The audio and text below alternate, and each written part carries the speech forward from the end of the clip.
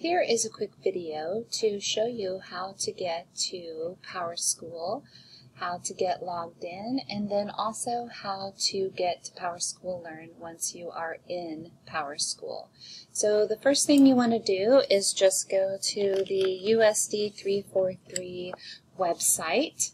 That's, this is going to be the easiest and quickest way for you to get to PowerSchool.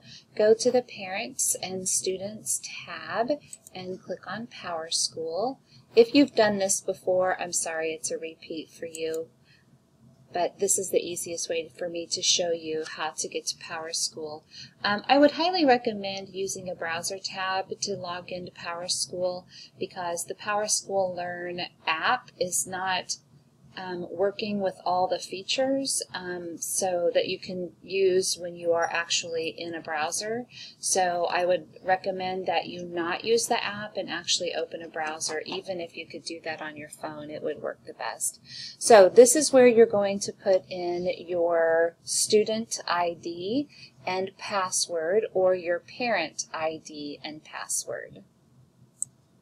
Once you are logged in, you can see this is Lucas Berry's account. I'm not going to scroll down to show you any of his detailed information.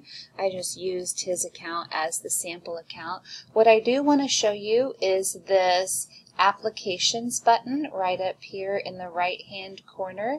You're going to want to click on that and when you click on that, you are going to see some applications that are available to you. You are going to want to click on PowerSchool Learning. And when you click on PowerSchool Learning, it will take you directly in to your PowerSchool Learning account.